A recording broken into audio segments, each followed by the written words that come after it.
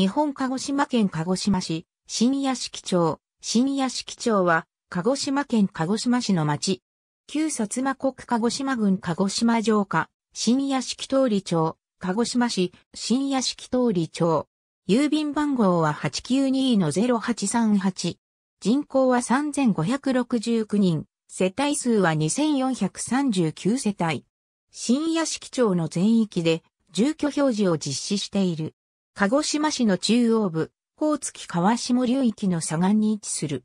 町域の北方には、日野口町、梶屋町、南方には下新田、南方から西方にかけては、高麗町、東方には、高月町、南林寺町にそれぞれ接している。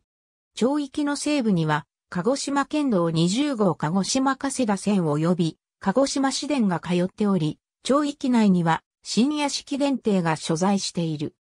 北端には、ナポリ通りが東西に通っており、中央部を東西に、城南大通りが通っている。中央部には、鹿児島県の筆頭警察署である、鹿児島中央警察署が所在している。町域内の船玉神社付近は幕末までは、鹿島地と呼ばれており、薩摩藩水軍の基地が所在していた。明治になると、水軍基地は下新たに移転した。明治初期より、鹿児島府下のうちの新屋敷通り町であった。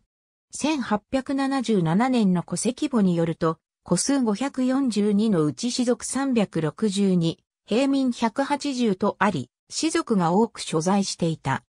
1888年に交付された市政に基づき、1889年2月2日に官報に掲載された市政施行地によって、鹿児島が市政施行地に指定された。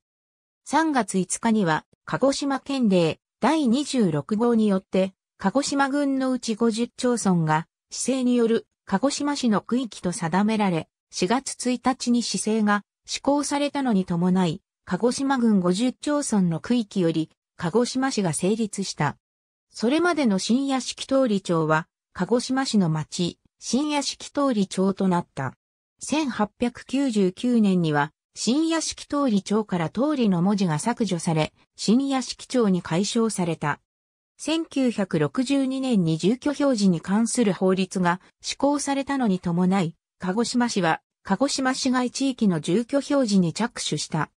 1963年9月11日に、城南地区で住居表示の実施に伴う町域の再編が実施され、塩谷町及び日野口町の各一部を新屋敷町に編入し、新屋敷町の一部を日野口町に編入した。また同時に、新屋敷町の全域で住居表示が行われた。以下の表は、国勢調査による小地域集計が開始された1995年以降の人口の推移である。鹿児島中央警察署、黒田清隆市立小中学校の学区は以下の通りである。新屋敷連定。